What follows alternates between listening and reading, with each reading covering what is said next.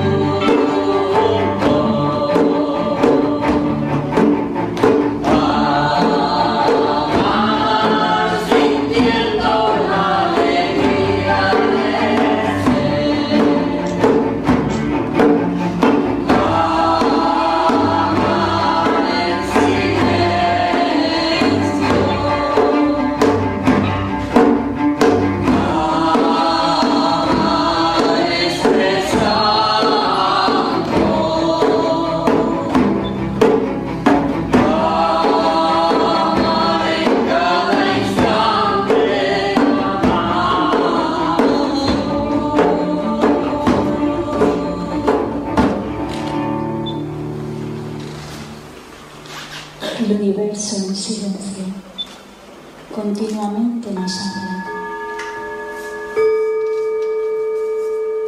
Nos habla con el brillo de las estrellas, iluminando aún la noche más oscura. Nos habla con el sonido del mar, de las olas, tan similar al sonido de una respiración profunda. Nos habla con la libertad del viento para decidir el sentido de su poema. Nos habla con la belleza de la Madre Tierra, que nos lo da todo sin exigir nada.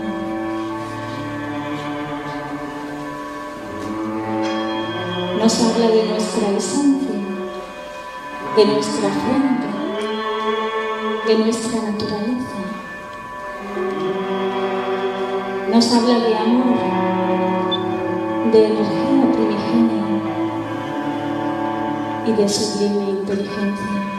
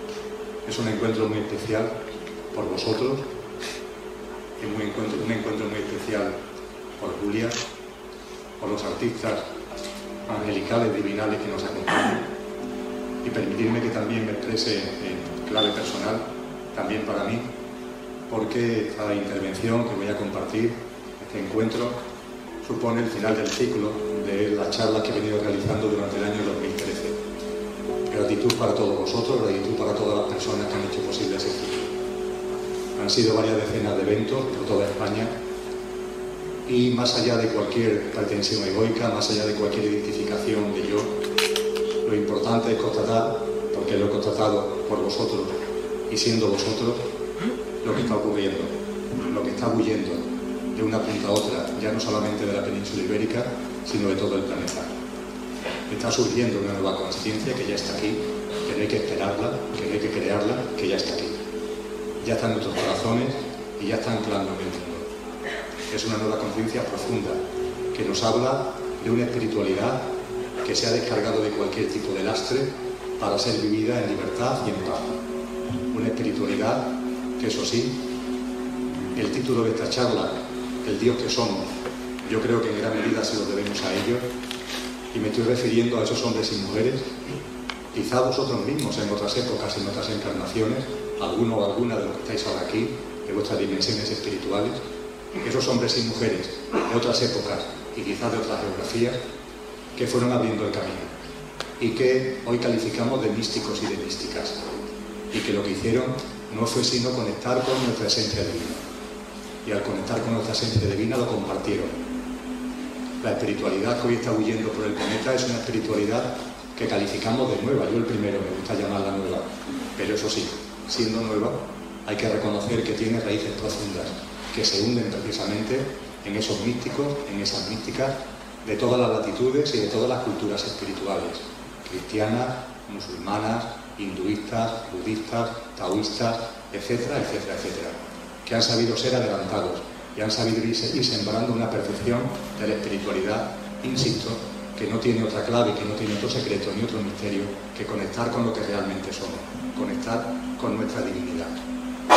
Sí es cierto que esos místicos y místicas, con relación a la espiritualidad que estamos viviendo, que estamos en esta sala, y cientos, posiblemente miles de millones de seres humanos actualmente en el planeta, esos místicos y místicas tuvieron dos diferencias, o mejor dicho, nosotros en el aquí y ahora tenemos dos diferencias con ellos. En primer lugar, esos místicos y místicas vivieron su espiritualidad y su conexión con la divinidad con un gran sentimiento de aislamiento, de soledad, de desamparo, porque fueron excepciones en su época e incluso fueron perseguidos dentro de la forma de ver y la forma de pensar las cosas de lo que fue su época. Eso hoy ya no sucede. Un acto como este y lo que se están celebrando continuamente, de momento en momento en todo el planeta, pone en evidencia que ya nuestra espiritualidad, esa espiritualidad de conexión con nuestra divinidad, no hay que vivirla ni la estamos viviendo en aislamiento ni con sentimiento de desamparo, sino con una enorme comunión, con un enorme encuentro de almas que somos perfectamente conscientes de que nos estamos reencontrando y estamos haciendo el camino juntos, acompañándonos, llenándonos de amor. Y la segunda diferencia, igualmente importante, es que esos místicos y místicas sintieron la necesidad de vivir su espiritualidad en un credo religioso, dentro de un credo religioso. Pongamos por caso los místicos y místicas españoles, Teresa de Ávila, Juan de Yepes, San Juan de la Cruz, Fray Luis de León, Miguel de Molinos y tantos otros que vivieron esa conexión con la divinidad dentro del credo católico, o los místicos árabes que lo vivieron dentro de la, de la creencia islámica, o nos vamos al extremo oriente y pasa exactamente igual con tantos místicos y místicas del hinduismo, del budismo. Consideraron pertinente, vieron preciso vivir su espiritualidad dentro de un credo religioso que para cómo normalmente lo hostigaba, en lugar de apoyarlo, en lugar de acogerlo, normalmente lo hostigaba, pero sintieron esa necesidad de vivir su conexión a la divinidad y su espiritualidad dentro de un credo religioso. Pues bien, eso ya no sucede tampoco. Somos muchísimas las personas que somos conscientes de que las religiones han jugado un papel muy importante en la evolución de la humanidad, en la evolución conciencial y espiritual del ser humano, pero que ha llegado un momento concreto en el que, en lugar de ser un factor de impulso, se han convertido en un factor de obstáculo. Todo tiene su porqué y su para qué, y estamos en un momento de transición, en un momento en el que estamos soltando muchas cosas y también ha llegado el momento de soltar los credos religiosos para vivir la espiritualidad con libertad y en plena paz. Y quiero comenzar precisamente lo que son los contenidos fundamentales que de corazón quiero compartir esta tarde, hablando de libertad y hablando de paz. Con relación a la libertad creo que, que hay algo enormemente significativo que todos tenemos que tener en cuenta. La libertad no está fuera de nosotros mismos. La libertad está en nosotros o no está. La libertad puede ser definida de muchas maneras, pero solo una definición es certera. La libertad es la ausencia de miedos. Una persona libre es aquella persona que no tiene miedo. Mientras que haya un miedo en nuestra vida, y hablaremos de ello a lo largo de esta tarde, mientras que haya un miedo en nuestra vida, ese miedo nos atenaza, ese miedo nos aprisiona y ese miedo impide que seamos realmente libres. La libertad, insisto, es la absoluta ausencia de miedos.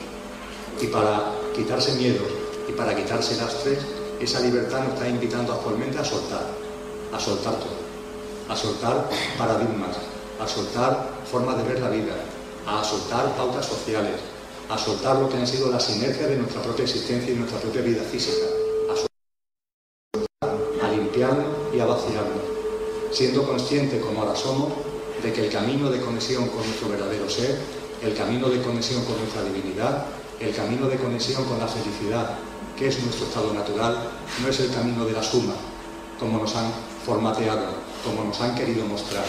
No es el camino de la acumulación, no es el camino de la posesión, no es el camino de la retención, sino que es todo lo contrario. Lo que nos conecta realmente con lo que somos y hace que la felicidad aflore de nosotros mismos como nuestro estado natural es la vía de la resta, es la vía del vaciamiento, es la vía del desalojo, es la vía del desapego, es la vía en definitiva de soltar lastres, de soltar miedos, de soltar cargas.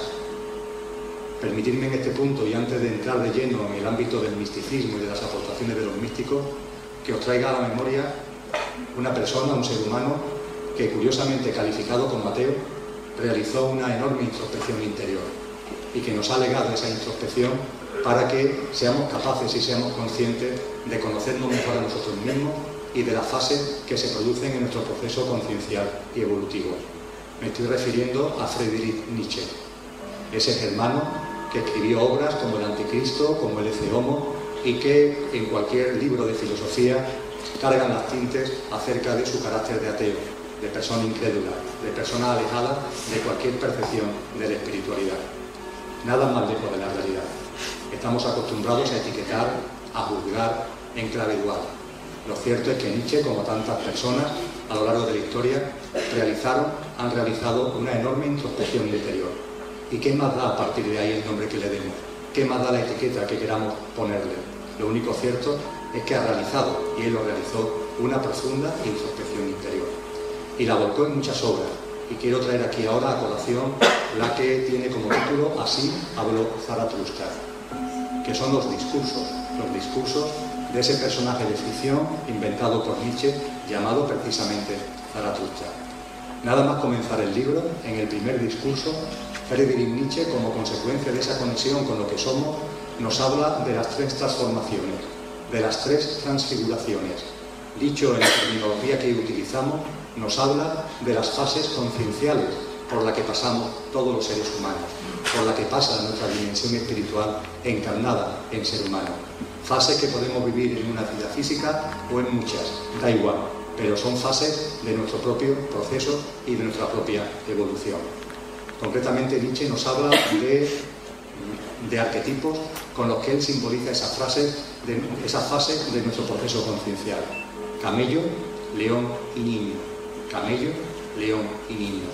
Todos los que estamos en esta sala, todos los seres humanos hemos pasado o pasaremos por estas tres fases. La fase de camello la define Nietzsche de una forma muy sencilla. El camello es un animal con jorobas. Arquetípicamente, simbólicamente, simboliza las cargas. Cargas que nos gustan llevar.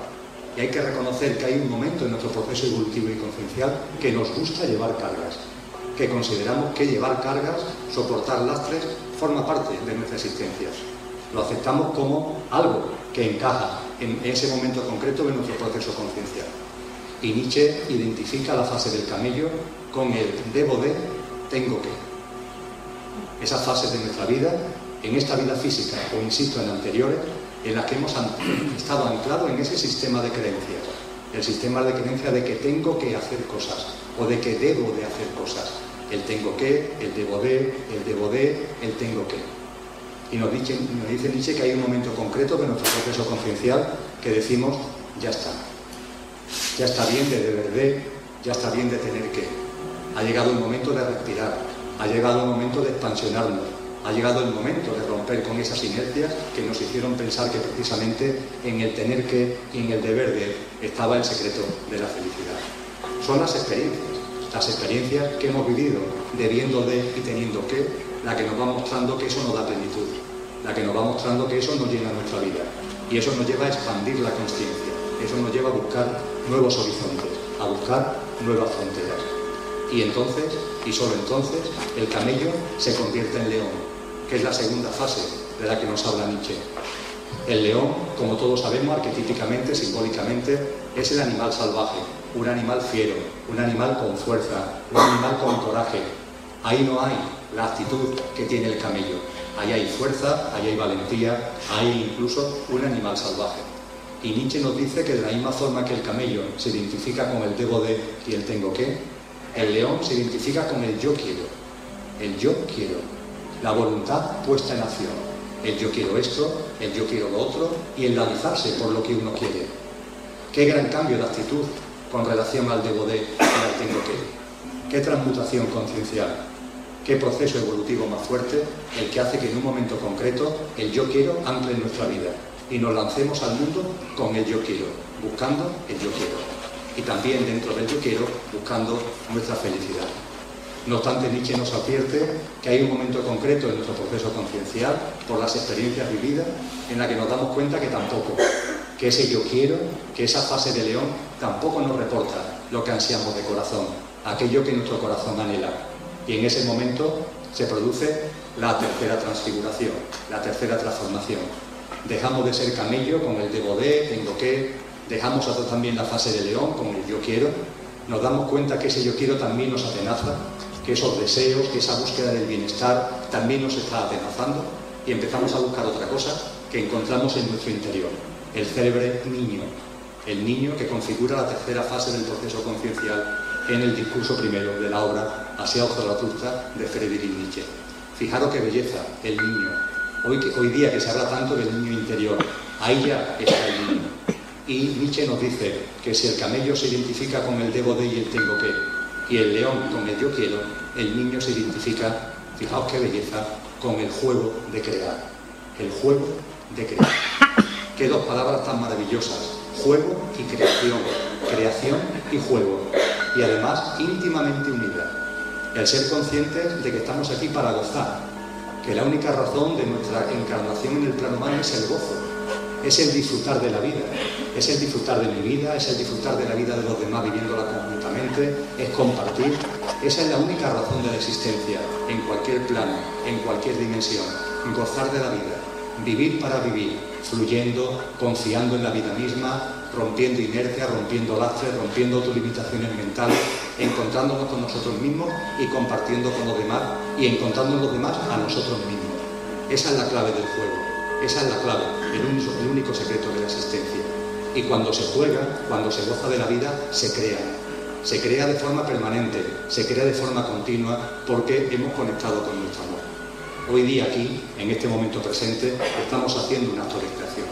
Estamos jugando porque estamos aquí para gozar, estamos aquí para disfrutar. No tenemos ningún tengo que ni ningún debo de. También hemos dejado ahí fuera por esa puerta el yo quiero y lo que hacemos es disfrutar.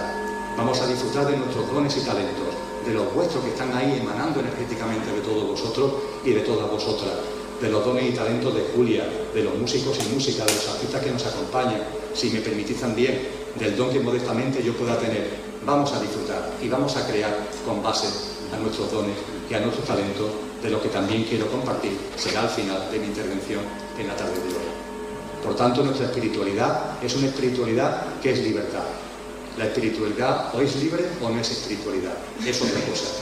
Ya está bien de normas, ya están bien de preceptos, ya está bien de cargas. Vamos a vivir nuestra divinidad como nos dé la gana.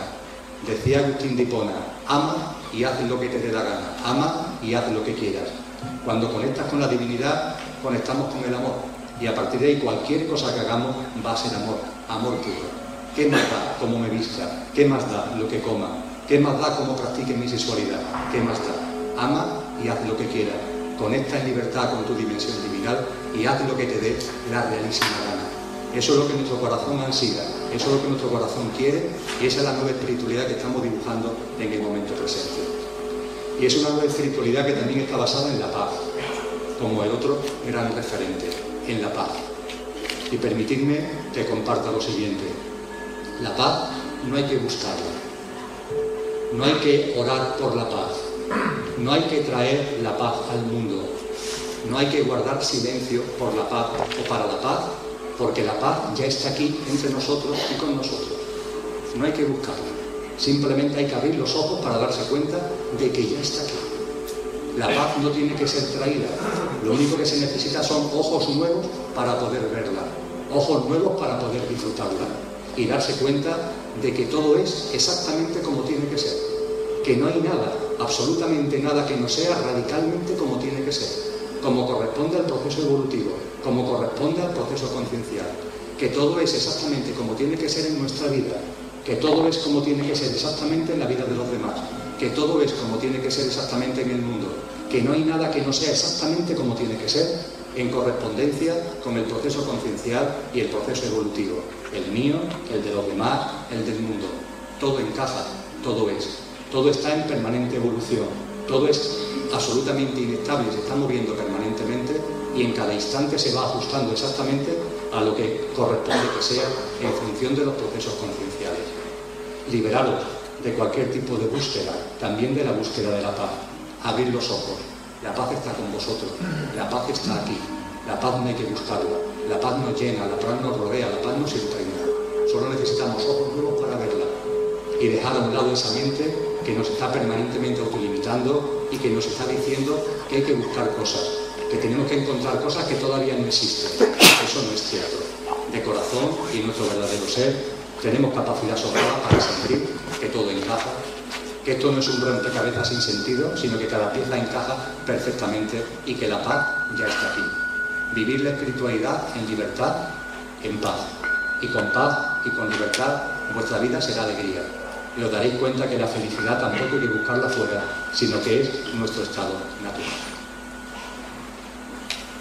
Liberaros también de cualquier percepción de error, de corazón a corazón.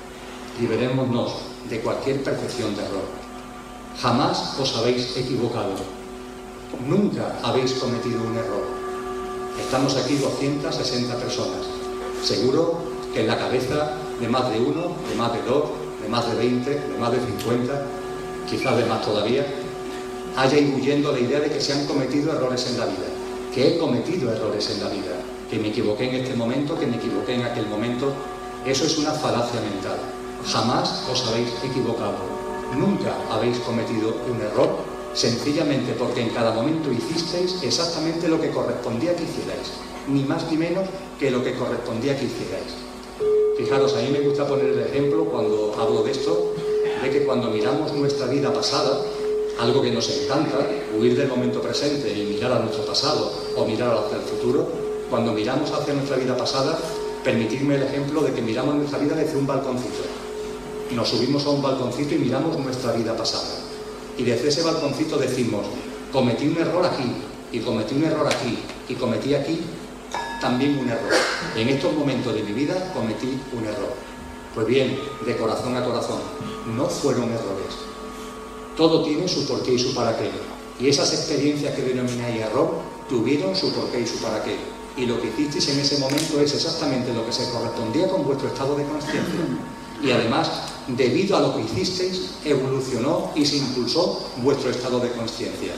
Si hoy estáis en un balconcito mirando vuestra vida, es debido precisamente al impacto que en vuestra vida tuvo eso que denomináis, errores, con lo cual no fueron errores, fueron aciertos plenos, porque fue aquello que hicisteis en correspondencia con el estado conciencial, con el proceso evolutivo que teníais en ese momento. Hay amigos y amigas que me dicen, pero yo miro que me arrepiento de lo que hice, yo me arrepiento de aquello, yo me arrepiento de esa acción. Y yo me limito a decirle, ¿no te das cuenta de que si tú pudieras, ya que te arrepientes, borrar esa acción de tu vida, borrar eso que tú denominas error en tu vida, si eso lo quitaras del medio, dicho coloquialmente, permitirme la broma, estás mirando la vida en un balconcito, tu vida pasada, y quieres quitar esos errores de tu vida, ¿no te das cuenta de que si los quitas te caes del balconcito? ¿No te das cuenta de que si estás en el balconcito viendo la vida es precisamente gracias también a esos errores, a eso que tú calificas errores y que no fueron errores, que tuvieron su porqué, que tuvieron su para qué en tu proceso conciencial? ¿Qué es lo que se correspondía en función de tu estado de conciencia? Y yo creo que todos los que estamos en esta sala sabemos que el estado de conciencia, como decía el torero, cada uno es cada uno y cada uno tiene su estado de conciencia. Somos 7.000 millones de seres humanos y cada ser humano tiene su propio estado de conciencia. No hay dos estados de conciencia iguales. Cada uno tenemos nuestro estado de conciencia. Uno más parecido, otro menos parecido. El estado de conciencia es la forma en la que vemos la vida, la forma en la que vemos la muerte, la forma en la que concebimos la divinidad, la forma en la que vemos a los demás, la forma en la que nos vemos a nosotros mismos, la forma que vemos las cosas, la forma que vemos el mundo. Todo eso configura el estado de conciencia de cada uno de nosotros. Y es distinto. Y no solamente que sea distinto, sino que está en evolución continua. El estado de conciencia nunca es estático, nunca está estancado, siempre está evolucionando, siempre está fluyendo por la vía de las experiencias, por la vía de las experiencias. Fluye cuando decimos que hacemos acierto, fluye cuando decimos que cometemos errores. Esos son dualismos de la mente. Siempre está fluyendo por la vía de las experiencias y toda experiencia tiene su porqué y su para qué en clave del desarrollo de nuestro estado conciencial. Lo que sí hemos, ido recordando y hemos, hemos ido sintiendo, que teniendo cada cual su propio estado de conciencia, el ser humano vibra, el ser humano emite una vibración. Aquí ahora mismo hay una vibración enorme que está siendo emitida por todo y cada uno de los que estamos juntos en esta sala. El estado de conciencia de cada cual emite una determinada frecuencia vibracional. Y esa frecuencia vibracional se puede captar con el corazón. La mente no se entera, pero nuestro ser interior y nuestro corazón lo siente. Esa vibración es con la que cada uno va caminando por la vida, la vibración de su estado de conciencia. Eso es lo que hace que nos encontremos con personas que no conocemos de nada y nos sintamos muy bien con ellas, muy a gusto, muy en conexión. La razón es muy sencilla. El estado de conciencia de esa persona, es decir, su frecuencia vibracional, resuena en sintonía con tu frecuencia vibracional, con la frecuencia vibracional de tu estado conciencial.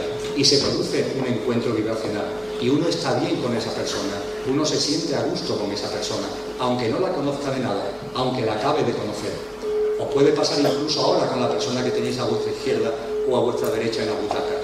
Lo mismo no la conocéis de nada y estáis sintiendo que con esa persona estáis bien. Incluso sin daros cuenta puede ser que sintáis una cierta inclinación hacia ella o hacia él. Y no estamos hablando de nada que tenga que ver con elementos físicos, estamos hablando de conexiones vibracionales. Y ojo, también puede pasar lo contrario. Personas que prácticamente no conocemos y con las que tenemos una especie de desarmonía, una especie de desintonía. La razón es muy sencilla la frecuencia vibracional de esa persona, de su estado conciencial, no es ni peor, ni mejor que la tuya, sino simplemente distinta. Y en lugar de sintonía se está produciendo una desintonía. En lugar de armonía se produce una desarmonía. Eso nos ocurre a todos en nuestro día a día. Eso nos ocurre continuamente. El estado conciencial se manifiesta en nuestra vibración y nuestra vibración hace que sintamos atracciones o lo contrario con relación a las personas que nos rodean y todos los estados de conciencia son perfectos. No lo hay superiores ni inferiores.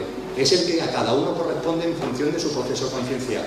Aceptación, paz, amor. No hay estados concienciales mejores ni peores. Finalmente somos una unidad que en la diversidad vive multitud de experiencias y multitud de estados de conciencia. Y el estado de conciencia, además, como comentaba antes, no es estático, sino que es dinámico. Con lo que no nos debemos sorprender que personas que en un momento determinado de nuestra vida tenemos mucha conexión, en un momento concreto esa desconexión vaya desapareciendo.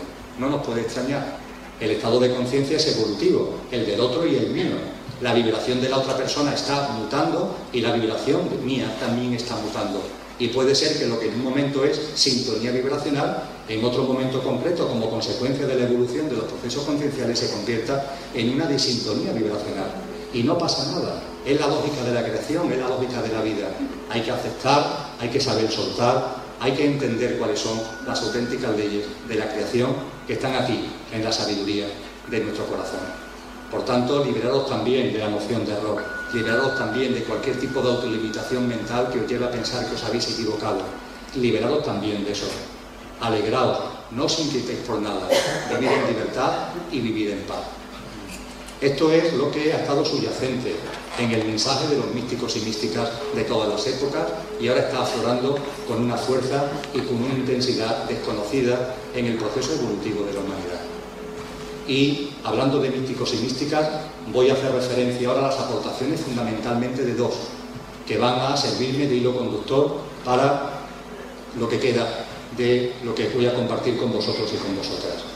El primero con el que empiezo es un místico musulmán, un místico sufí, Al-Halal, que vivió en la Damasco del siglo IX. Al-Halal, por hablar de esta espiritualidad, fue perseguido por la jerarquía eclesiástica de su época y de su geografía, y fue martirizado y fue descuartizado, perdón, primero fue quemado, después fue descuartizado y después se quemaron sus restos. ¿Y por qué? ¿Por qué exactamente? Pues muy simple. Al-Halal ha dejado una frase para la posteridad que resume su sentir, su conexión con la divinidad. Es una frase que seguro muchos y muchas de los que estáis aquí me la habéis escuchado ya decir, porque creo que resume muy bien lo que es esa conexión con nuestra divinidad y el camino de retorno al hogar. Dijo Al-Halal, Dios es yo, y yo soy Dios cuando ceso de ser yo. Fijaros, Dios es yo.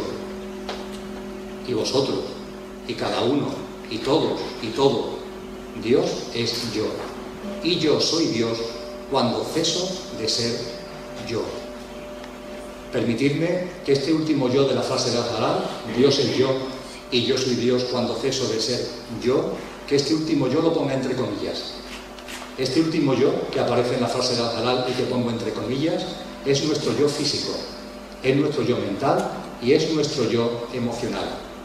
Lo que nos está diciendo Al-Halal es que no hay separación posible en la realidad, en lo real, no hay separación posible entre Dios y yo. No hay separación posible entre Dios y nosotros mismos. Es un imposible. No hay fragmentación, no hay ruptura, no hay frontera, no hay distancia entre Dios y yo, entre Dios y cada uno de vosotros, porque somos inexorablemente lo mismo. Cualquier idea que se nos venga a la cabeza en sentido contrario es pura ficción de la mente, es pura ilusión de un ego que aspira a vivir como un ente individualizado y separado. Y eso no es verdad. Dios es Dios. Eso sí, la creación es libre albedrío, porque es amor. El libre albedrío rige en la creación porque la creación es amor. Si la creación no fuera amor, esto sería dirección obligatoria y todos uniformados. Pero sin embargo, la creación es amor. Por eso precisamente hay libre albedrío, por eso precisamente hay esa enorme diversidad de estados concienciales. La creación es amor, hay libre albedrío y a partir de ahí cabe la posibilidad de que Dios es yo, pero que yo voluntariamente, mentalmente, en mi estado de conciencia, me aparte de lo que soy. Es lo que hace, por ejemplo, el hijo pródigo de la célebre parábola que nos legó Cristo Jesús, apartarse voluntariamente del Padre para vivir su vida, buscando experiencias de bienestar. Y estamos en nuestro derecho, nadie nos lo impide, porque vivimos en libertad y en libre albedrío. Y cuando vivimos ese libre albedrío puede suceder que nos identifiquemos con ese yo entre comillas, que creamos que somos solamente ese yo entre comillas, ese yo físico, ese yo mental, ese yo emocional. Dios es yo y yo soy Dios cuando ceso de ser yo. Pero también puedo no cesar de ser yo y puedo identificarme, insisto en exclusiva, con ese yo físico, con ese yo mental, con ese yo emocional, con los sentidos corpóreo-mentales. Lo puedo hacer, nadie me lo impide y de hecho hay muchos seres humanos que están en esa fase del proceso conciencial y evolutivo. ¿Y qué sucede cuando no cesamos de ser yo? Fue algo muy sencillo. Si me permitís el ejemplo, nuestra dimensión espiritual es un conductor. La mayoría de vosotros tiene carnet de conducir y sois conductores. Pues bien, nuestra dimensión espiritual, en el ejemplo que os traslado, es el conductor. Y vosotros posiblemente, además de ser conductores, porque tenéis carnet de conducir, tenéis un coche. Pues bien, nuestro yo físico, mental y emocional es el coche. Nuestra dimensión espiritual, valga el signo, es el conductor y está encarnada utiliza un coche para experienciar en la vida humana. Para estar en el aquí y ahora como ser humano necesitamos un vehículo, necesitamos un coche. Este yo físico, este yo mental, este yo emocional, que es maravilloso. El único problema es que nosotros somos mucho más que eso. Vosotros como conductores sabéis que sois mucho más que vuestro coche. Por supuesto que el coche es muy útil. Nadie se dedica a darle porrazo a su coche.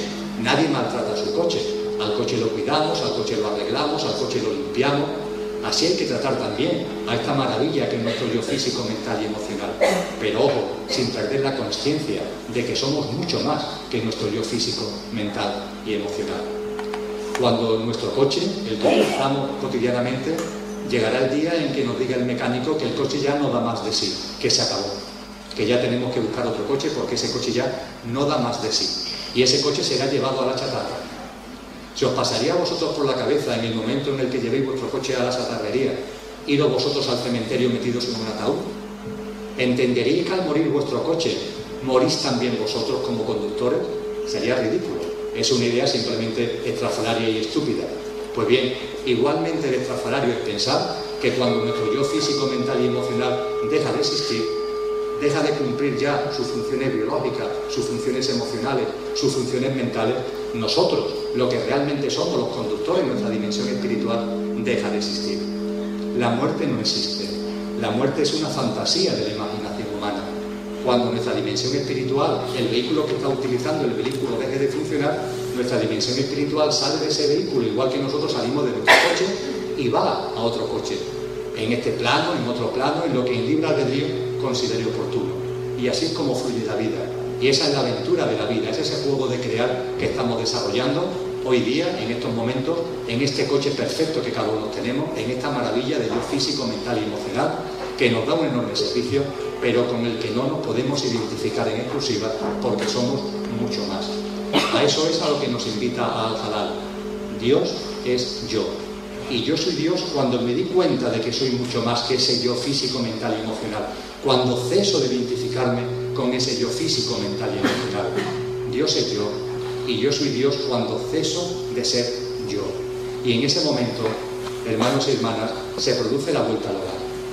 En ese momento la frase de Al-Halal hace una especie de elipse, una especie de círculo. Dios es yo y yo soy Dios cuando ceso de ser yo y al cesar de ser yo, al darme cuenta de que soy mucho más que el yo físico, mental y emocional, retornamos al hogar. Empezamos a fusionarnos con lo que realmente somos. Empezamos a conectar con lo que realmente somos. Empezamos a conectar con la paz, empezamos a conectar con el silencio, empezamos a conectar con la felicidad, empezamos a conectar con la vida, empezamos a conectar con todo lo que realmente somos y con ese amor profundo que late dentro nuestro porque es la característica más importante de todos los atributos de nuestra divinidad. Amor, mucho amor, un amor muy puro, un amor muy intenso. Eso es lo que se siente en el retorno al hogar. Por eso precisamente con este retorno al hogar que nos lleva a la fusión con lo que somos, decía Cristo Jesús, yo y el Padre somos uno, y eso podemos decirlo todo, yo y el Padre Madre somos uno, yo el Padre, yo soy el Padre, yo soy la Madre, cada uno de vosotros es el Padre, cada uno de vosotros es la Madre, cada uno de vosotros es la fuente, cada uno de vosotros es la energía cósmica, que cada cual es del nombre que considere oportuno, cada uno de nosotros es Dios, somos Dios. Dios es yo y nosotros también somos Dios cuando nos damos cuenta que somos mucho más que nuestro yo físico, mental y emocional y realizamos el camino de regreso al hogar, de fusión con nosotros mismos. Ahí acontece la transformación en Dios. Ahí acontece, y lo subrayo, la transformación en Dios. Es posible que en esta vida física, lo que estamos aquí ahora en esta sala, realmente nos podamos transformar en Dios. Es posible que hagamos el retorno al hogar y fusionarnos con la divinidad que somos. Desde luego que sí. Si no, las personas que han convocado este acto no lo hubieran convocado, porque estaríamos aquí para compartir una especie de falacia. Pero es que es posible, es perfectamente posible. Y permitirme que en ese sentido me remonte ahora a otro místico. He hablado de un místico sufí, de un místico musulmán, al-Halal, y ahora voy a introducirme en las aportaciones, lo voy a hacer con detenimiento, de un místico que conocéis, por lo menos de nombre, todos vosotros y todas vosotras.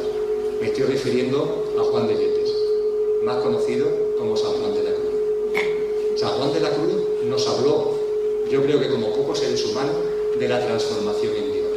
Y nos enseñó, nos enseñó por su experiencia el recuerdo de lo que tenemos dentro para llevar a cabo la transformación en Dios. Fijaros, en una carta que Juan de Yepes escribió a una, a una viuda granadina que lo seguía a todos sitios, a Ana de Peñalosa y Mercado, en el año 1584, le dice, le escribe Juan de Yepes, le escribe San Juan de la Cruz. El más perfecto grado de perfección a que en esta vida se puede llegar es la transformación en Dios. Recordadlo en vuestro corazón como lo recordó ella. El más perfecto grado de perfección a que en esta vida podemos llegar es la transformación en Dios. Podemos transformarnos en Dios porque Dios es Dios. Y lo único que tenemos que hacer es tomar conciencia y retornar a lo que realmente somos. El más perfecto grado de perfección a que en esta vida se puede llegar es la transformación en Dios. Más allá de esta exposición en prosa, San Juan de la Cruz manifestó esto en lírica, en sus maravillosos poemas, y lo vertió en esa expresión, en ese verso que creo que todos conocemos. La amada en el amado transformada. La amada en el amado transformada. La transformación en Dios. La amada en el amado transformada. Nuestra dimensión espiritual que se reencuentra con lo que realmente es. Nosotros mismos que nos reencontramos con lo que realmente somos. Y fijaros que este santo abulense, que por cierto es doctor de la Iglesia desde el año 1929, es decir, que estas aportaciones están escritas por una persona que es reconocida actualmente como doctor, ni más ni menos que de la Iglesia, pues bien, esa frase, esa maravillosa expresión de la transformación en Dios, amada en el amado, transformada, Juan de Yepes no lo introduce en un poema cualquiera, sino que a conciencia está incluido en un, en un poema muy singular. San Juan de la Cruz escribió poemas muy alegres, poemas muy llenos de vitalidad, incluso de erotismo, para hablarnos de espiritualidad y de la conexión con nuestra divinidad. Por ejemplo, el cántico espiritual. Por ejemplo, llama de amor viva. Pues bien, la amada en el amado transformada, la transformación en Dios no aparece en el cántico espiritual, no aparece en llama de amor viva, sino que aparece en un poema muy singular, titulado ni más ni menos que La noche oscura. La noche oscura. ¿Por qué? ¿Por qué la transformación en Dios en la obra de Juan de Yepes aparece en ese poema precisamente en la noche oscura? Porque es ahí, en las experiencias que nuestra mente califica de noche, en las experiencias que nuestra mente califica de oscura, cuando más conectamos con nuestra esencia y más conectamos con nuestra espiritualidad. Todas las experiencias tienen su porqué y su para qué, todas, y también aquellas de las que huimos mentalmente, también aquellas que llamamos oscuridad, también aquellas de las que queremos rehuirlas en nuestra vida. Esos momentos duros, esos momentos penosos, esas experiencias que nuestra mente califica de difíciles, de sufrientes. Ahí, ahí, ahí nos dice San Juan de la Cruz, hay que buscar. Ahí precisamente es donde nuestra experiencia humana es capaz de abrir los universos más insospechados, las perspectivas que nunca habían pasado por nuestra cabeza viviendo en clave solamente de bienestar. Por eso precisamente en esa noche oscura nos dice San Juan de la Cruz, oh noche que guiaste, oh noche amable más que alborada, oh noche que juntaste amado con amada, amada en el amado transformada. Fijaros, oh noche que guiaste, oh noche amable que en el siglo XVI se utilizaba correctamente el término que viene de amor, amable viene de amor, no es una persona educada, no es algo, una persona que tenga buen talante, amable viene de amor. O noche que guiaste, o noche amable más que almorada. Liberaros de esa percepción de las cosas, de esos paradigmas que os llevan a clasificar las experiencias. Las experiencias no son ni buenas ni malas, son experiencias. Y todas, también las que denominamos oscuras, tienen su porqué y su para qué en clave de nuestro proceso conciencial evolutivo. Liberados también de esa carga, liberados de esa dualidad. Las experiencias no tienen color, las experiencias tienen simplemente un porqué y un para qué en clave de nuestro proceso conciencial evolutivo e impulsan nuestra evolución, todas ellas y sin excepción. Hay una canción muy antigua de Serrat, Vivir para Vivir, que después le cambió la letra quizá porque cuando la escribí en los años 70 no se entendía, que dice en un momento determinado, hablando de la vida, ¿qué más da que ese? Lo comparto de corazón con vosotras y con vosotros. ¿Qué más da que ese? ¿Qué más da que las experiencias nos peguen o nos besen? Son experiencias que nosotros estamos trayendo a nuestra vida, que estamos generando nosotros mismos, que estamos creando nosotros mismos desde nuestro estado de conciencia para impulsar nuestro proceso conciencial y evolutivo. Mirad, si el 22 de diciembre, que es cuando se celebra la lotería de Navidad, tenéis un décimo en el bolsillo para jugar, en el bolsillo izquierdo tenéis un décimo para jugar esa lotería, y en el bolsillo derecho tenéis una citación con el médico que os va a dar el resultado de una serie de pruebas que, os han hecho, permitidme que coloquialmente baraje las siguientes hipótesis. Hipótesis 1.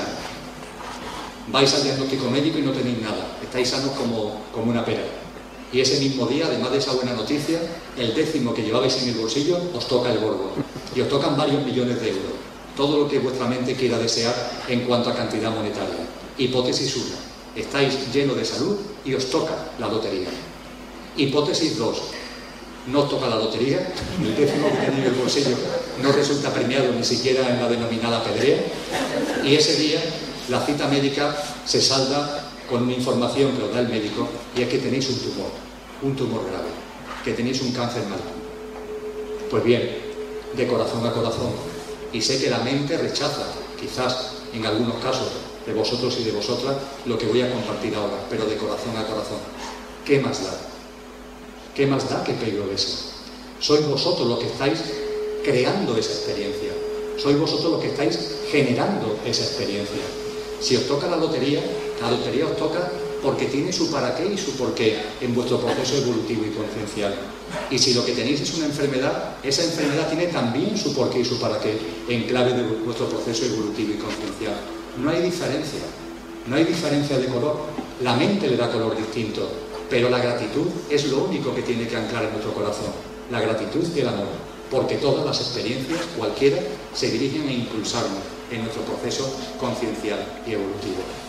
Cuando nos empezamos a descargar de este tipo de cosas, empezamos a ver, empezamos a quitarnos los velos, empezamos a quitarnos las vendas y nos damos cuenta de algo prodigioso, precisamente lo que San Juan de la Cruz nos transmite en su poema de la noche oscura. Y hablando de enfermedad, nos damos cuenta de que toda enfermedad es sanadora. Toda enfermedad es sanadora.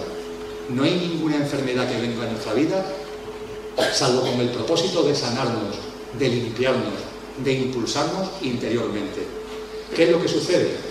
Que, volviendo a la frase de Alcalá, como no cesamos de ser yo, como seguimos identificándonos solamente con el yo físico, mental y emocional, como aunque de corazón queramos trascender de eso, seguimos todavía muy anclados en eso, la vida la vemos solamente como si fuera un iceberg del que solo vemos la punta del iceberg.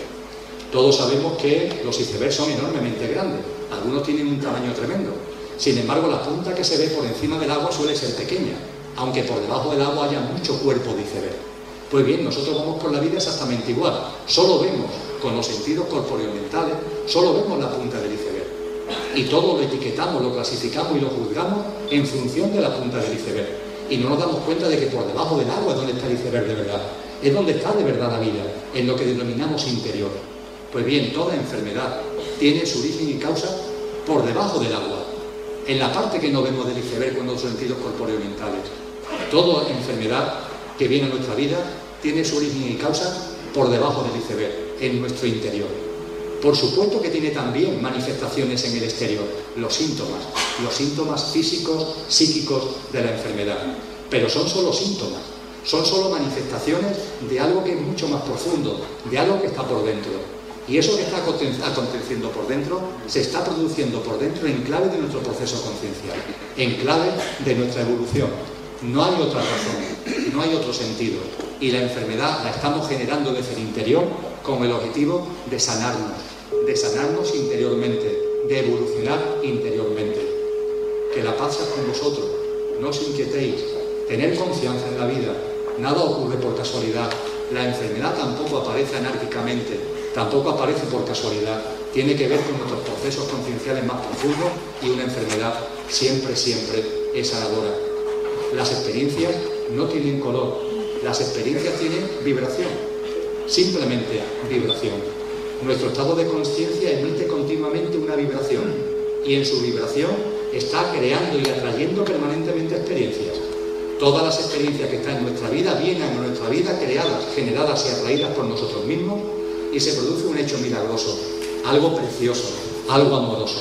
Y es que toda vibración con su experiencia resuena con la vibración de nuestro estado conciencial para impulsar nuestro estado conciencial.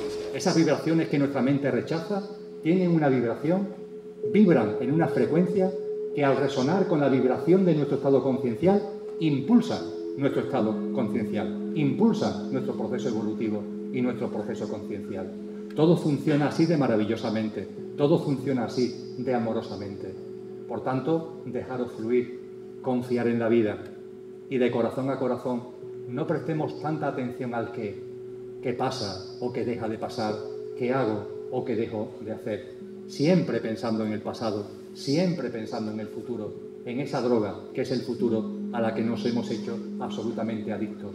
Centraros en el presente y más que en el qué, poner vuestra atención, poner vuestra conciencia y poner vuestro corazón en el cómo, en el cómo. ¿Cómo? ¿Cómo afronto lo que tengo aquí? Sin preocuparme, confiando en la vida, hablando del qué, lo que la vida traiga, vivirlo con amor. Esas experiencias, la que sea, el gordo de Navidad o el diagnóstico de la enfermedad, vivirlas con amor. Cualquier cosa, cualquier situación, por aparentemente insignificante o por aparentemente importante que tengáis en vuestra vida, simplemente vivirla con amor. Siempre, siempre con amor. Y estaréis anclando el amor en vuestra vida. El amor que sois lo estaréis también anclando en vuestra vida. Y la alegría, y la paz, y la felicidad, y la libertad. Lo estaréis anclando. San Juan de la Cruz no se conforma con lo que acabo de compartir. Va un poco más allá. En cuanto a que en otra de sus grandes obras poéticas nos habla de algo que también tenemos que ir soltando, de algo que también tenemos que ir dejando atrás. Concretamente me voy a referir ahora a un poema que mi querida amiga Concha Redondo repite con insistencia. Comienza de la siguiente manera. Entréme donde no supe y quedéme no sabiendo, toda ciencia trascendiendo. Para conectar con nuestra divinidad, para transformarnos en Dios, no solo hay que ser consciente de que hay que dejar de juzgar la vida, no solo hay que ser consciente que las experiencias no son ni buenas ni malas, que lo que la vida te traiga tiene su porqué y su para qué en clave de tu proceso evolutivo. Dejamos de juzgar la vida, confiamos en la vida, fluimos y nos centramos en el amor. Pues bien, además de eso, San Juan de la Cruz lo que nos dice es que tenemos que olvidarnos de la mente. Para entender la vida, la mente no abarca la vida. Para entender nuestra dimensión profunda, nuestra espiritualidad, nuestro ser divino, la mente no la abarca. Nuestros sentidos corpóreos mentales no detectan la grandeza de todo lo que estamos viviendo, de lo que es la existencia. Hay que ir más allá de la mente. La mente sirve para lo que sirve, tiene un papel y una función en la vida. Yo no podría estar aquí ahora compartiendo de corazón con vosotros lo que estoy compartiendo si no fuera por la mente, si no fuera, fuera por los sentidos corpóreos mentales. Aunque mi intención es transmitir mucho más vibración que información. Y eso lo hace el corazón, eso no lo hace la mente pero aún así estoy utilizando la mente para comunicar y para compartir. La mente tiene su porqué y su para qué, la mente tiene su funcionalidad, pero ojo, para transformarnos en Dios, para conectar con nuestra divinidad, para realizar el, camino de regreso al hogar, hay que trascender de la mente y hay que meterse dentro de uno mismo, en nuestro interior y utilizar el corazón. En ese estado al que San Juan de la Cruz describe tan maravillosamente de entreme donde no supe, y que no sabiendo toda ciencia trascendiendo. Y yo sé que la mente, cuando se le plantea esto, inmediatamente aparece la pregunta, bueno, ¿y esto cómo se hace exactamente? ¿Cómo se puede trascender de la mente? ¿Cómo se puede vivir de una forma distinta a la utilización constante de la mente? ¿Cómo podemos utilizar el corazón para comprender la vida, para vivir, para existir?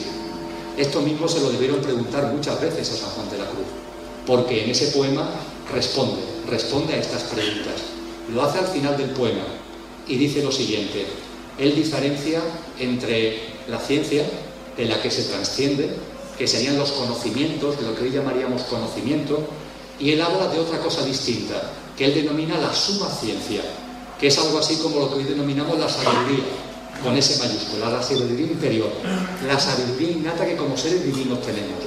Él distingue entre la ciencia y la suma ciencia entre el conocimiento, todas aquellas cosas que podemos aprender a través de la mente y aquello que no necesitamos aprender, porque ya lo sabemos. Simplemente tenemos que recordar que esa suma ciencia, esa sabiduría innata. Pues bien, él nos dice, y si lo queréis oír, se expresa así de coloquialmente en ese poema, y si lo queréis oír, consiste esta suma ciencia, esta sabiduría innata, consiste esta suma ciencia en un subido sentir de la divinal esencia, en un subido sentir de la divinal esencia. Esa divinal esencia que todos tenemos. Y San Juan de la Cruz lo que nos dice es tan fácil como súbela. Es decir, manifiéstala, practícala, ponlo en práctica en tu vida cotidiana, que suba, que no se quede ahí en el fondo, que no se quede ahí dormida, despiértala, sácala, recuérdala. Y si lo queréis oír, consiste esta suma ciencia en un subido sentir de nuestra divina esencia. Y tiene Juan de Yepes un poema muy breve, el más breve de toda su obra lírica, donde define además lo que es esa suma ciencia. Él la llama, llama a ese poema como título La suma de perfección. Y nos dice, fijaros qué simple, para subir nuestra divina esencia, nos dice, olvido de lo creado, memoria del Creador, atención a lo interior y estarse amando al amado. Olvido de lo creado, memoria del Creador, atención a lo interior y estarse amando al amado. Trascender de lo físico, mental y emocional. Ser conscientes de que ese Creador somos nosotros.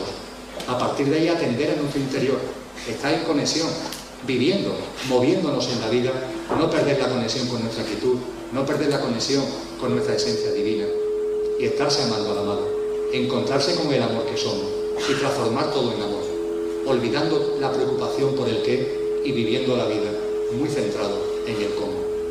Cuando esto se practica en el día a día y se practica con perseverancia y con intensidad, no una vez a la semana, no una vez al mes, no en algún encuentro de meditación de vez en cuando, sino cuando esto se convierte en nuestra vida, de instante en instante, se entiende muy bien lo que este santo abulense nos vertió en la parte final de su noche oscura, que es con lo que quiero terminar este repaso brevísimo a la obra en lo que aquí quería recordar de San Juan de la Cruz. En el final de la noche oscura nos dice Juan de quedéme y olvidéme, el rostro recliné sobre la madera. Cesó todo y dejéme, dejando mi cuidado entre las azucenas olvidadas. Cuando se lee este, este poema, este, esta estrofa final de la noche oscura, es tan intensa, es tan intensa que es difícil apurarlo. Normalmente nos quedamos en el principio, que nos llama a la quietud, a la paz, que deben y olviden el rostro recliné sobre la mano, la conexión con nuestra divinidad, la transformación en el Dios que somos. Cesó todo y dejéme. Porque ahí cesa todo. Ahí cesan las preocupaciones, ahí cesan los lastres, ahí cesan las cargas, ahí cesan las culpas, ahí cesan las autolimitaciones mentales y se abre todo de una forma distinta. Y se ve la vida de una manera tan certera, se ve la vida de una manera tan real que deviene lo último que Él nos dice, dejando muy, cuidado entre las azucenas, olvidado, dejando muy cuidado entre las azucenas, olvidado, de corazón a corazón. ¿Estáis en disposición de dejar vuestro cuidado? ¿Estáis en disposición de dejar vuestro cuidado entre las azucenas olvidado? Porque si estáis en disposición, la transformación en Dios está ahí. En el momento en el que un ser humano deja su cuidado entre las azucenas olvidado, la transformación en Dios culmina. Es la confianza absoluta, la confianza absoluta en la vida. El empezar a tomar conciencia de que mientras que haya voluntad, se carece de voluntad. El empezar a tomar conciencia de que mientras haya esfuerzo, nos esforzamos para nada. El empezar a tomar conciencia de que la vida es amorosa, de que todo fluye en la perfección de cuanto es. Ese olvido de nuestro cuidado que nos llevaría a olvidar nuestro bienestar, a olvidar la búsqueda del bienestar. Y permitirme que con relación a esta búsqueda del bienestar comparta lo siguiente. Como preámbulo, para entrar en la búsqueda del bienestar. Parece que esto de buscar el bienestar es lo más normal del mundo. De corazón a corazón es una enfermedad mental. Los seres humanos lo estamos empezando a recordar. Vivir la vida buscando el bienestar es una enfermedad mental. Lo llamamos normal porque es frecuente. Es normalísimo, hombre, buscar el bienestar que quiere que haga. Yo no voy a buscar el bienestar. Buscar el bienestar es lo frecuente, pero buscar el bienestar no es normal. Es una grave enfermedad mental. Es una grave enfermedad mental que tiene su porqué y su para qué en nuestro proceso conciencial y evolutivo. Pero ya está. Ha llegado un momento en el que nos demos cuenta de que ese no es el camino. Que la búsqueda del bienestar solo nos lleva al sufrimiento. Que la búsqueda del bienestar solo nos lleva al sufrimiento. Vamos a ello. Para entrar en ello, traigo a colación a otro místico, más antiguo que San Juan de la Cruz, mucho más antiguo, aunque curiosamente también doctor de la Iglesia. Vamos a hablar de otro doctor de la Iglesia, se llamó Agustín, conocido en su época como Agustín de Hipona, esa localidad del norte de África, Agustín de Hipona. Hoy día, como doctor de la Iglesia, es más reconocido y conocido como San Agustín, que vivió, como sabéis, en la época del Imperio Romano. San Agustín tuvo una vida, por decirlo de alguna forma, díscola, durante muchos años. Dicho metafóricamente, fue una especie de hijo pródigo. Renegó de lo que era, de su dimensión divina, y se lanzó a la vida buscando el bienestar, como el hijo pródigo que abandona el hogar. Y vivió muchos años así. Nos dicen los libros de historia que 30 años. A los 30 años ocurrieron cosas en su vida que le hizo dar un giro. 30 años en aquella época eran muchos años. Hoy día 30 años es una persona joven, en la época en la que estamos hablando, 30 años ya era un número considerable de años. Pues bien, a los 30 años, Agustín de vio lo que antes no había visto. Y su vida se transforma. Su vida y su proceso conciencial da un enorme salto. Y tuvo la deferencia hacia sus congéneres de escribir su experiencia, su camino de ida y vuelta, su, camino de alejamiento al hogar, voluntariamente en libre albedrío y, voluntariamente en libre albedrío por vía de la experiencia de retorno al hogar y de fusión con el Padre Madre. Nos dejó escrito una obra excelsa llamada Confesiones, porque confiesa que ha vivido, confiesa que se alejó y confiesa que ha vuelto, y nos narra con pelos y señales cómo fue ese proceso. Confesiones realmente son varios libros, no es uno solo, no son libros extensos, pero son varios libros. Y cada uno de ellos está dividido como en epígrafes. Pues bien, quiero traer aquí, a este momento, la obra de Agustín Dipona, Confesiones, en el libro 10, apartado 27. Y en ese apartado 27 del libro 10 de Confesiones nos dice Agustín Dipona lo siguiente. En mi corazón no se puede expresar de una forma más maravillosa el encuentro con lo que somos. Nos dice lo siguiente. Tarde os amé, hermosura tan antigua y tan nueva. Dice tarde porque tardó muchos años. Tarde os amé, hermosura tan antigua y tan nueva. Y he aquí que vos estabais dentro de mí, y yo de mí mismo estaba fuera, y por de fuera yo os buscaba. Estabais conmigo y yo no estaba con vos. Estabais conmigo y yo no estaba con vos. Esa es la tragedia del sufrimiento humano. Dios, el Dios que somos, siempre está con nosotros, porque Dios es yo. Y sin embargo, no lo percibimos. En nuestro libre albedrío, en nuestra experiencia, nos salimos hacia afuera buscando fuera lo que ya tenemos. Estabais conmigo y yo no estaba con vos. Y he aquí que vos estabais dentro de mí y yo de mí mismo estaba fuera y por de fuera yo os buscaba. Esa vida plena, esa vida alegre, esa vida abundante, esa felicidad, la tenemos dentro. No hay que buscarla fuera, pero nos lanzamos fuera y no pasa nada. Forma parte de nuestro proceso conciencial evolutivo. No pasa nada. Ahora bien, en de buscar fuera lo que tenemos dentro, en esa experiencia de la búsqueda del bienestar, lo que tenemos garantizado es exclusivamente el sufrimiento, que es también parte de nuestra experiencia y parte de nuestro proceso conciencial. ¿Por qué? la búsqueda del bienestar solo puede conducir al sufrimiento. Fijaros, cuando buscamos el bienestar, cuando buscamos nuestra satisfacción, pueden pasar dos cosas, que la consigamos o que no la consigamos. Cuando la conseguimos, cuando la alcanzamos, decimos que eso es bienestar. Y cuando no conseguimos esa satisfacción, decimos, hablamos de malestar. Permitidme un ejemplo muy sencillo, pero precioso, sensacional una de las experiencias cumbre de nuestra experiencia humana, el enamoramiento. Te enamoras de una persona, locamente, apasionadamente, y pueden pasar dos cosas, que esa persona se enamore de ti o que esa persona no se enamore de ti y no te corresponda.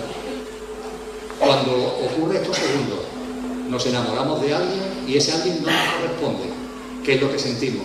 Frustración, dolor, es decir, sufrimiento. Y a eso lo llamamos malestar. Y entendemos que el malestar es sufrimiento. Pero os invito a que hagáis una introspección acerca de la otra hipótesis. Nos enamoramos de alguien y nos corresponde. Y se produce el milagro, ese milagro del amor mutuo, ese milagro del enamoramiento. Se produce el milagro. A eso lo llamamos bienestar. Eso nos inunda de felicidad. Ahora bien, de corazón a corazón, profundicemos un poquito. Ahí, en ese bienestar aparente, hay sufrimiento. Hay de hecho mucho sufrimiento. Porque el sufrimiento no solamente está en el malestar, también está en lo que denominamos bienestar. Y me estaréis preguntando mentalmente, bueno, Emilio, yo no veo el sufrimiento en el que tú te enamores de alguien y ese alguien te corresponda. Pues sí, hay sufrimiento. Cuando se busca el bienestar y ese bienestar se alcanza, hay sufrimiento inmediatamente por dos razones que con brevedad comparto. La primera, en cuanto que buscamos algo y lo alcanzamos, automáticamente aparece el miedo a la pérdida. Automáticamente aparece el miedo a la pérdida. Y el miedo a la pérdida genera sufrimiento. Por ejemplo, en el enamoramiento mutuo se produce el milagro del amor mutuo. Inmediatamente aparece el miedo a la pérdida. Inmediatamente empieza a hacerse preguntas. Inmediatamente. La más común. ¿Y esto cuánto va a durar? Y empezamos ya a darle vuelta al coco. Y ahí surgen emociones en nuestro interior que los seres humanos conocemos perfectamente, que contaminan el amor y que hacen que ese amor que ha surgido ahí, ese milagro del amor, inmediatamente se contamine. Y empiezan a aparecer los sentimientos de apropiación, y empiezan a aparecer los proyectos de futuro, y empiezan a aparecer las aprobaciones del otro. Incluso hay gente que se enamora de otro y que es correspondido y que la pretensión es cambiar al otro. Es decir, te enamoras de alguien y ahora quieres cambiar a ese alguien del que te has enamorado. Y aparecen los celos, aparecen multitud de sentimientos que contaminan ese amor y que nos generan sufrimiento, mucho sufrimiento. Lo común, lo corriente, lo que suele pasar, es que cuando buscamos el bienestar y lo alcanzamos, automáticamente aparece el miedo a la pérdida y unido a ello multitud de sentimientos y emociones que nos generan dolor, que nos generan tristeza, que nos generan sufrimiento. Pero hay una segunda razón de que cuando se busca el bienestar solo alcanzamos sufrimiento, que es mucho más potente que esta que acabo de compartir, mucho más contundente. Mirad, buscar el bienestar, el ejemplo que me gusta poner cuando tengo oportunidad de compartir en encuentros como este, es como meterse en una carretera de montaña, con mucha pendiente, con muchas curvas, una carretera muy estrecha, en el coche de Fernando Alonso y querer correr a 200 kilómetros por hora. Y lo peor que os puede pasar es que la primera curva no estrelléis. Eso es lo peor que puede pasar. Porque cuando por casualidad pasáis la primera curva, me vais a mirar y me vais a decir, Emilio, ¿eh? ¿cómo es posible ir por esta carretera a 200 kilómetros por hora? Y además da un gusto, además da una sensación tan potente. Lo peor que os puede pasar cuando busquéis el bienestar es alcanzar el bienestar. Porque vais a creer que ese es el camino. Vais a creer que esa es la fórmula. Con lo que os vais a animar. Y como vais a animar, vais a acelerar el coche todavía más. Y en la siguiente curva la vais a dar. Y lo peor que puede pasar es que por arte de vivirlo, que la siguiente curva tampoco la deis. Porque entonces os vais a animar todavía más. Vuestra mente va a creer que ese es el camino. Y luego el porrazo lo voy a dar. En la tercera, en la quinta o en la enésima. Caminar por la vida buscando el bienestar es la garantía de tener sufrimiento, porque os la vais a dar. Porque si pasáis por la vida juzgando a la vida, esto es bueno, esto es malo, esto es positivo, esto es negativo, esto es bienestar o esto es malestar, en clave de insatisfacción, automáticamente, inevitablemente va a haber cosas en la vida que os van a impactar, entre comillas, negativamente. Va a ser inevitable, va a ser absolutamente inevitable. Y lo que quiero compartir en estos momentos, también de la divinidad que tengo aquí, con la divinidad que vosotros tenéis también en vuestro interior y que es la misma, que es la divinidad que, que nos unifica, es que, puestos a soltar, puestos a dejar lastres, soltar también la balanza, soltar también la balanza. Me explico. No nos estamos dando cuenta ya de que nos paseamos por la vida con una balanza en la mano juzgando a la vida. ¿No os dais cuenta de que estáis viviendo vuestra vida con una balanza en la mano con la que estáis juzgando a la vida? Diciendo esto me gusta y esto no me gusta, esto es bueno y esto es malo, esto es positivo y esto es negativo. ¿no dais cuenta que estáis viviendo de esta forma, que es una enfermedad mental? Os paséis por la vida con la balanza, con sus dos platillos. Todo aquello que es positivo, que, os produce alegría, os produce bienestar, lo ponéis en un platillo. Y todo aquello que os produce disgusto, que os produce malestar, lo colocáis en el otro platillo. Y así estamos viviendo, juzgando a la vida. ¿Cuál es nuestro único propósito? Vivir cuantas más experiencias posibles podamos poner en el, en el platillo del bienestar y vivir cuantas menos experiencias posibles podamos vivir, podamos, tenemos que colocar en el platillo del malestar. Pero estamos ya asumiendo, lo cual es tremendo, que vamos a vivir experiencias de malestar, que vamos a vivir experiencias de sufrimiento. Lo estamos ya asumiendo. Pasear con la balanza en la mano juzgando a la vida es ya asumir que en la vida se sufre, que en la vida va a haber sufrimiento, porque hay dos platillos, y voy a colocar las cosas positivas en uno y las cosas negativas en el otro, asumiendo que voy a vivir cosas negativas. ¿No dais cuenta que en la medida en la que entendéis que la vida os reporta cosas negativas, os termináis separando de la vida?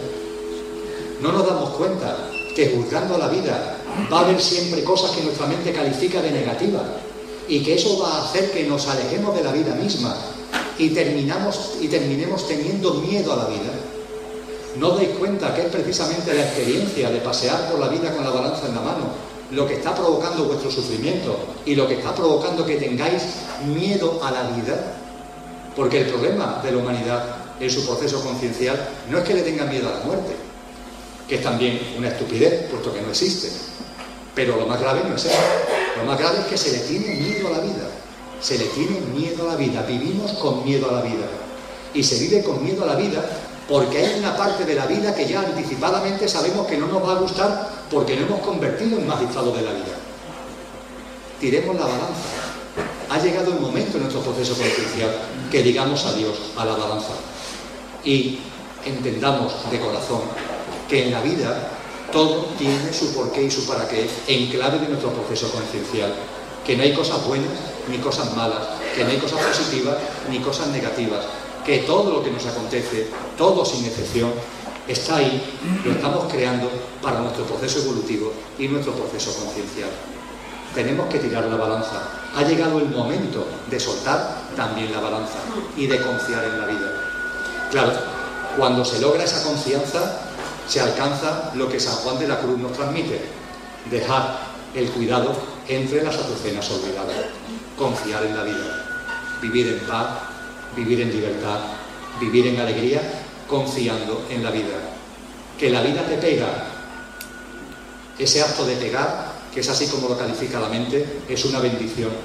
Es algo que estás trayendo a tu vida, sea noche oscura o sea, noche, o sea día luminoso, me da igual, lo estás trayendo a tu vida para impulsar tu proceso conciencial y permitir que todo fluya y permitir que la paz y la quietud inunden nuestro día a día. Y en este punto, para ocupar los últimos minutitos, me quedan aproximadamente 19, que compartir con vosotras y con vosotros, si os quiero transmitir por último serenidad, sosiego, tranquilidad. Soy consciente que cuando se comparte lo que estoy compartiendo, hay una parte de nosotros mismos que se agobia.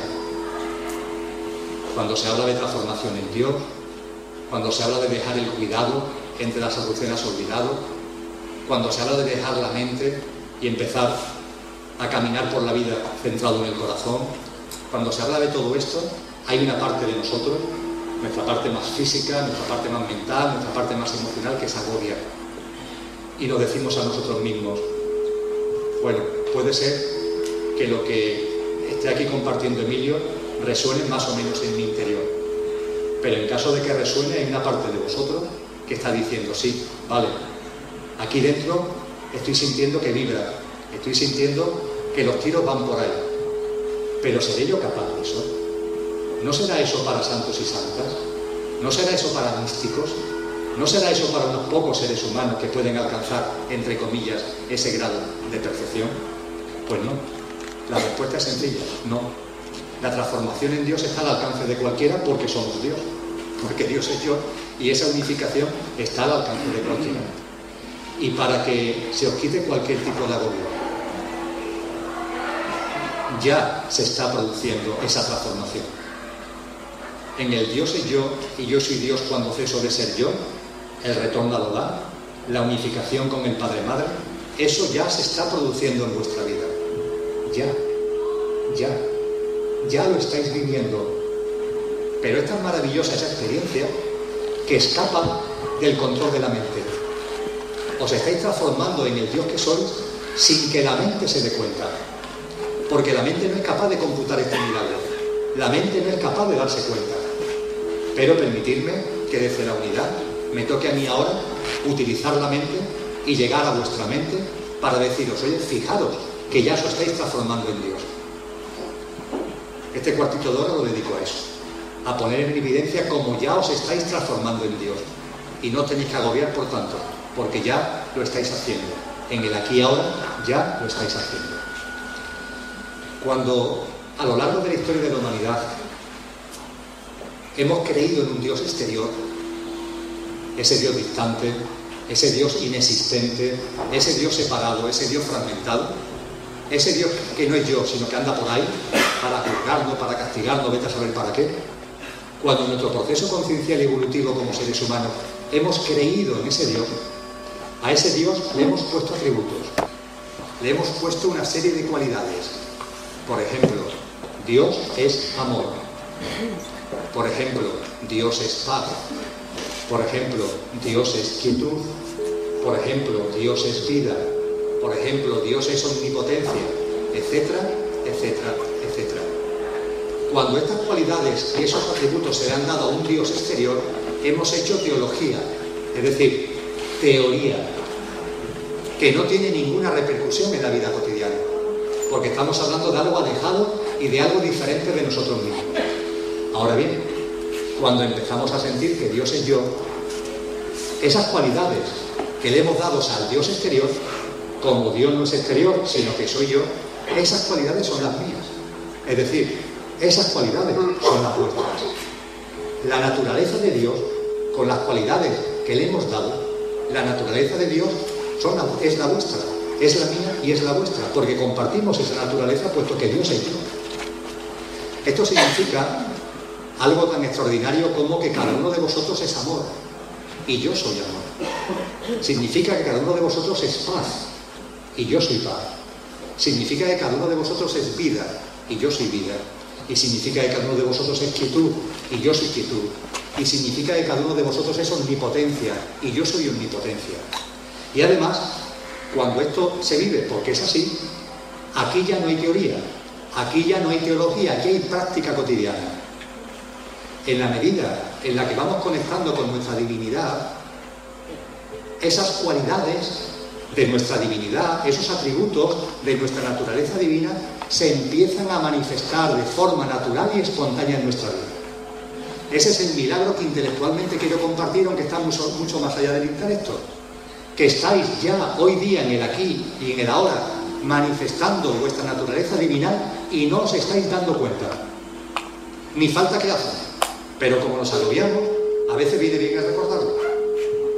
Estáis poniendo en evidencia, por ejemplo, vuestra omnipotencia.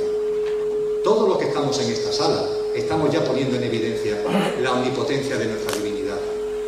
La omnipotencia, creo que eso ya de corazón todos lo sabemos, no es poder hacer todo. La omnipotencia no es tener todo. Esa omnipotencia, así entendida, ha sido la vía de la suma, la vía de la acumulación, la vía de retener, la vía de competir, esa vía que no tiene nada que ver con nuestra divinidad. Pero no, la omnipotencia no tiene nada que ver con el tener de todo. La omnipotencia es muy distinta. Aquellos seres humanos que han conectado con su divinidad nos han definido muy bien la manifestación de la omnipotencia. Y traigo aquí, en este punto, a Francisco de Asís, un hombre que conectó indudablemente con su divinidad y que conectó con su omnipotencia. Y esa omnipotencia la reflejó con esta célebre frase, necesito poco. Y lo poco que necesito, lo necesito poco. Porque esa es la omnipotencia.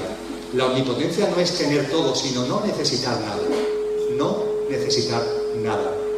Pero esa omnipotencia de la que nos habla Francisco de Asís, la estáis ejerciendo vosotros. La estáis llevando a cabo cuando os habéis dado cuenta, porque os habéis dado cuenta de que necesitáis muchas menos cosas de las que pensabais hace un tiempo que necesitabais. Hoy día soy consciente de eso. Hoy día soy perfectamente consciente de que no necesitáis tantas cosas. Lo sabéis, lo sabéis muy bien y lo estáis llevando a la práctica, porque vuestra omnipotencia divina se está manifestando. Hoy día sabéis que necesitáis muchas menos cosas de las que antes suponíais, de las que antes imaginabais, pero es que además aquellas cosas que necesitáis las estáis cubriendo con austeridad. Os habéis dado cuenta que no hace falta derrochar, que lo que se necesita con poquito es suficiente, que pueden ser cubiertas esas necesidades con austeridad. Eso es lo que a mí me gusta llamar una vida sencilla, una vida sencilla que cada vez llevamos a cabo más seres humanos, una auténtica avalancha de seres humanos, que estamos ya caminando por la vía de una vida sencilla.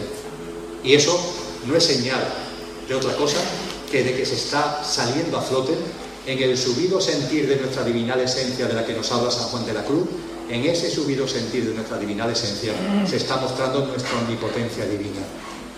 Pero fijaros, también se está mostrando nuestra divinidad y nuestra naturaleza divina cuando tanto de vosotros y de vosotras estáis sintiendo, no desde la mente, sino desde el corazón, una orientación, una inclinación a vivir en el aquí y ahora.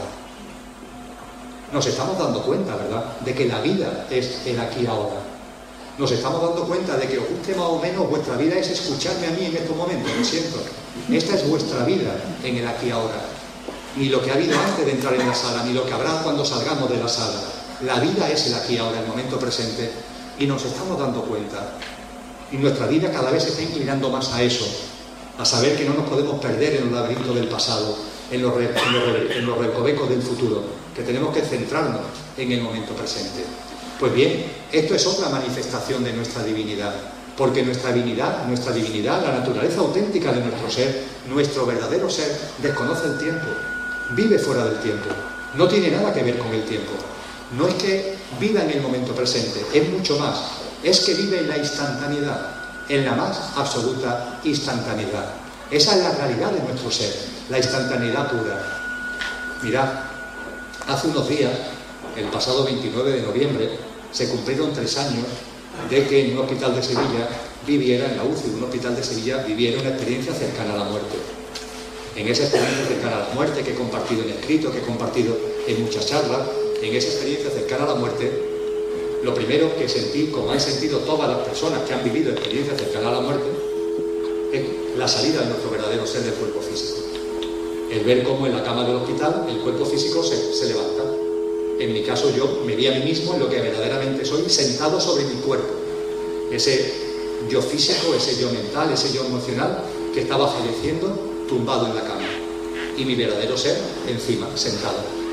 Pues bien, eso tiene como primera buena noticia el darse cuenta y el percibir que no se experimenta el estertor de la.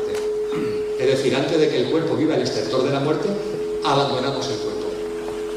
Ninguno vamos a vivir ese momento de sufrimiento, entre comillas, físico del estertor de la muerte, porque antes, antes salimos del cuerpo.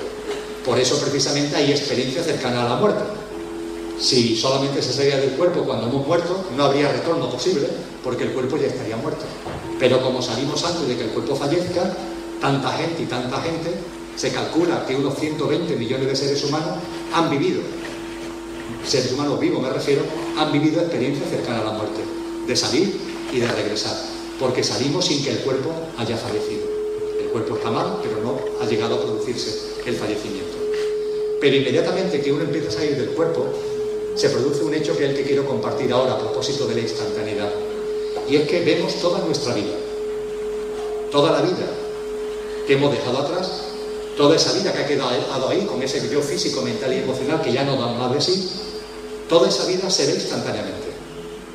Yo pensaba que esto era como ver una película, desde que naces hasta que estás muriendo, pero como en un tráiler, trozos de la película. No, no, no, no son trozos de la película, es la vida entera. Se ve la vida entera.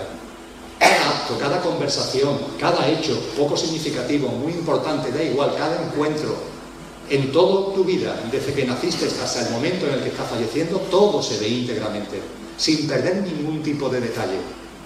Y se ve que todo encaja. Ahí sí que se ve que todo tiene su porqué y su para qué. Ahí sí que se ve que eso que tú creías que era un error no fue un error, porque eso desencadenó esto, que desencadenó esto, que desencadenó esto. Ahí se ven perfectamente las relaciones causa-efecto. Y ahí te inunda la paz, porque te das cuenta de que todo encaja, de que todo tiene su porqué y todo tiene su para qué. Pero a lo que voy, esto se ve instantáneamente, como el que se traga un chip y automáticamente en un flash ves todo. Y eso es posible porque nuestro verdadero ser vive en la instantaneidad. No en la eternidad, sino en la instantaneidad más radical y más absoluta. Y cuando vamos, conectando con nuestra divinidad de forma natural, sin que funcione ni siquiera el intelecto, vamos teniendo esa inclinación a vivir en el aquí y ahora, a no darle tanta importancia al pasado, a no darle tanta importancia al futuro y cada vez centrarnos más en el aquí y ahora. Esa es otra manifestación de nuestra transformación en Dios. Esa es otra manifestación de la puesta en práctica del Dios que somos. Y puedo seguir, y podría poner otros muchos ejemplos de práctica. En el tiempo del que todavía dispongo, el silencio.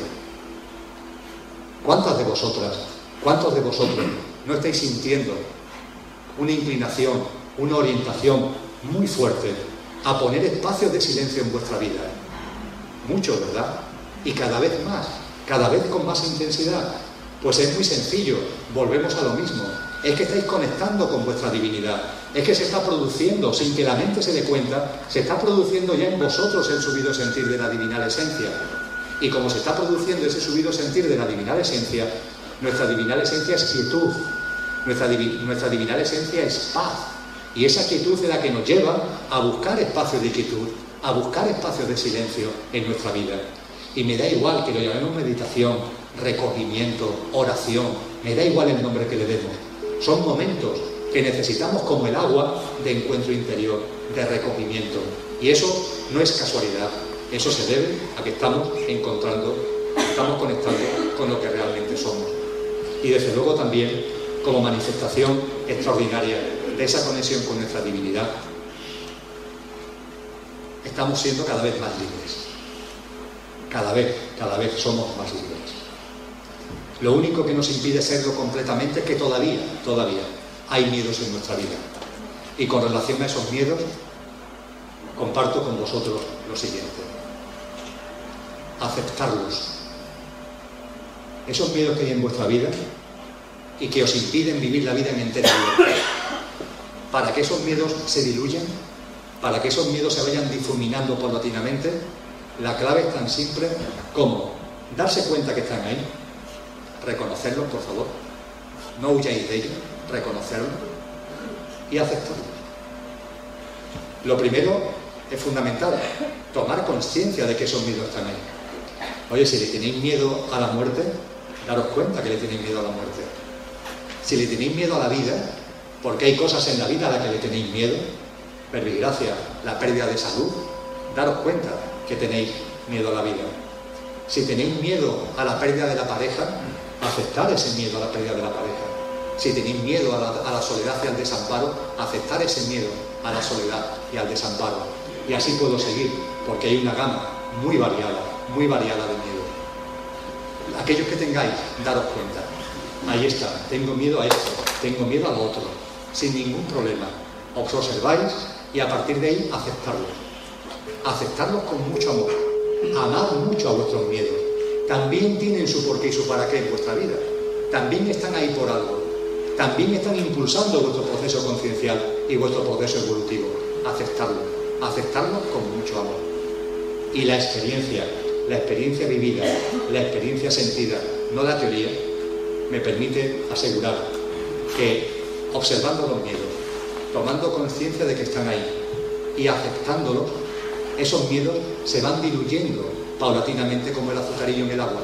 Van diluyéndose, van desapareciendo. Pero como por arte de magia, no es necesario que hagáis nada, como por arte de magia. Van diluyéndose y van desapareciendo. Y entonces sí, la libertad ancla completamente en nuestra vida. Dios es yo, y vosotros, y cada uno. El título de este encuentro está divinamente puesto. Somos Dios. Se le ocurrió a Julia posiblemente, porque ella también en su divinidad la está sacando a flote. Y la manifestación en el título es también la manifestación de nuestra divinidad. Somos Dios.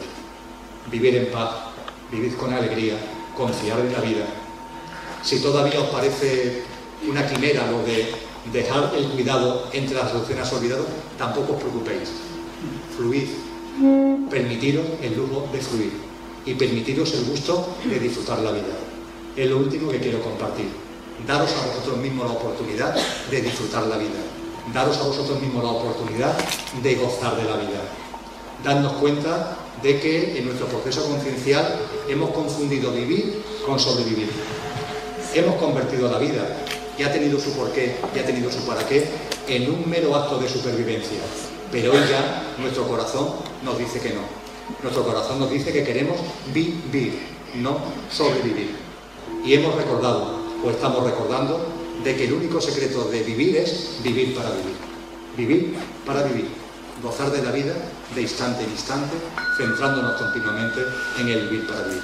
Amaros mucho, conectar con vuestro amor y vamos a seguir disfrutando de esta música, de esta meditación, ahora ya de la mano de Julia y de todos nuestros amigos. Os pido que para hacer este tránsito desde mis palabras a lo que ahora ya Julia va a ir comentando, hagamos un minuto de silencio.